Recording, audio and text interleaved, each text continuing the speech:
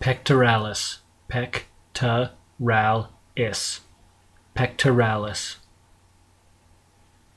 The pectoralis is used to flex, adduct, and medially rotate the arm and the shoulder joint,